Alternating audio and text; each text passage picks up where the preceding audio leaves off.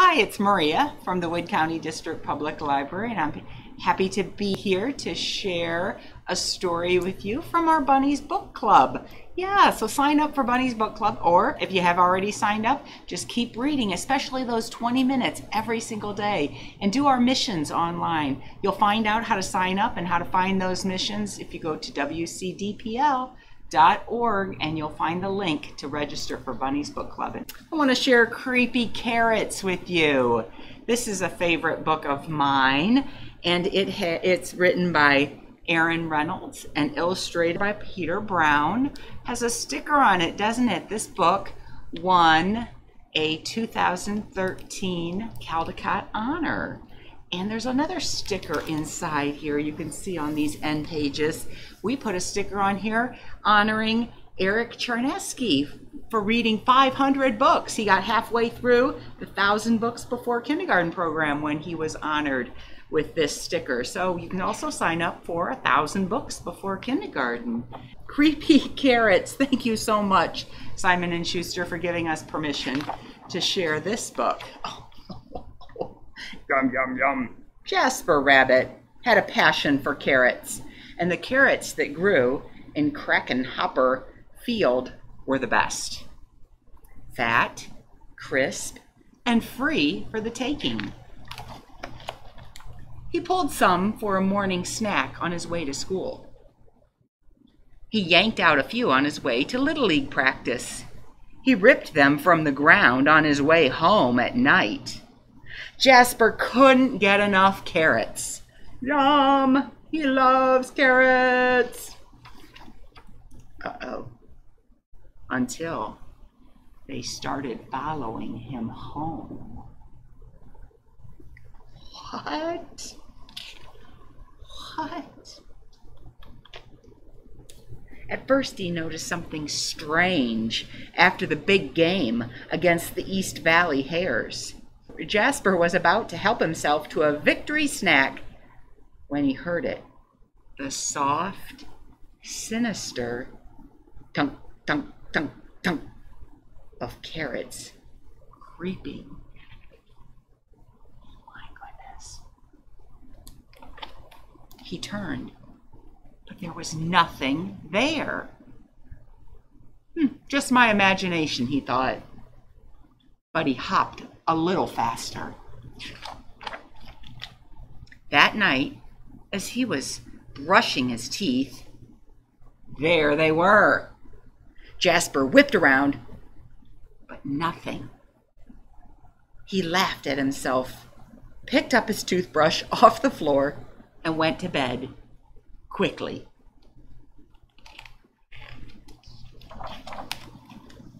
The next morning, he approached Hopper Field slowly. He reached for two wild carrots. Nothing happened. He bit into one. Nothing happened. Whew.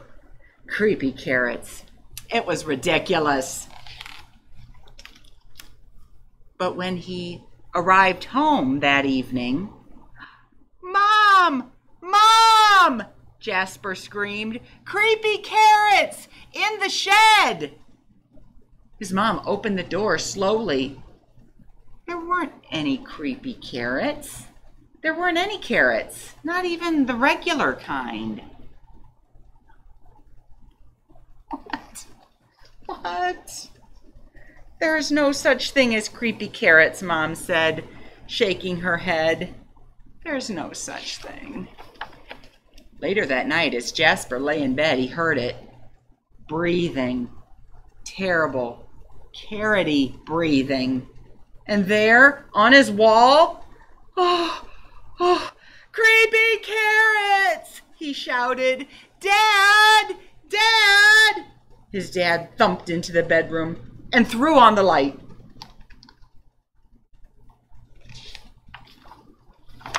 He searched under the bed.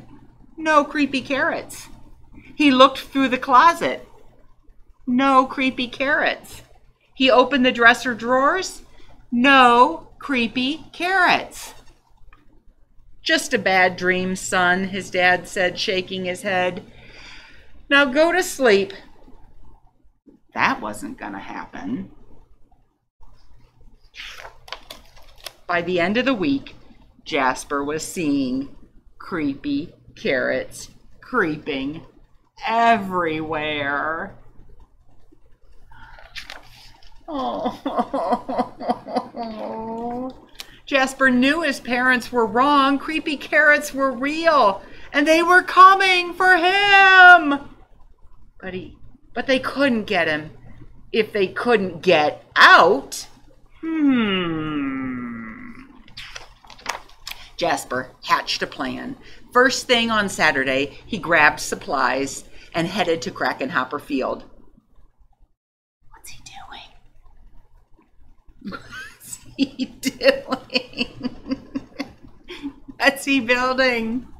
What is he building? Oh my goodness. He's got a plan. A saw. Some heavy machinery. Lots of water. A hammer and nails. Some wood. As the sun finally set across Crackenhopper Field, Jasper Rabbit smiled. On his way home, there was no thunk, thunk, thunk. There was no carrot shaped shadows. His plan had worked. No creepy carrots would ever get out of that carrot patch again. Look at that. Look at that fortress he has built. Look at where all that water went. Did he make a moat? Did he dig a moat and put water in it? And who's in that moat? Swimming around? Are those crocodiles? Yay! Little Jasper's so happy. Oh, and as the sun finally set, the carrots of Kraken Hopper Field cheered. They were so happy. Their creepy plan had worked. They were sure of it. Jasper Rabbit would never get into that carrot patch ever again. Look at what they did. They said, We won! We won! Our, our plan worked.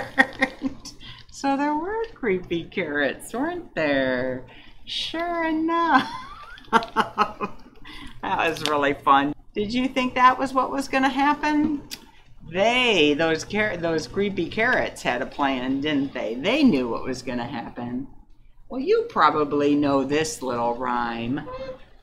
Five little pumpkins sitting on a gate. Yeah, and you have five pumpkins right here. Yeah, here's one, two, three, four, five. Let's count them again. One, two, three, four, five. Five little pumpkins sitting on a gate. The first one said, Oh my, it's getting late.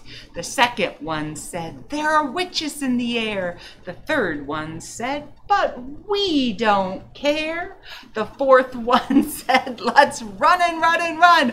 The fifth one said, We're ready for some fun. Ooh, went the wind. Do you see the wind? Whoosh. Oh, help me make the sound of wind. With the wind, and out went the light, and the five little pumpkins, woohoo, tumbled out of sight. Five little pumpkins sitting on a gate. The first one said, Oh my, it's getting late. The second one said, There are witches in the air. The third one said, But we don't care.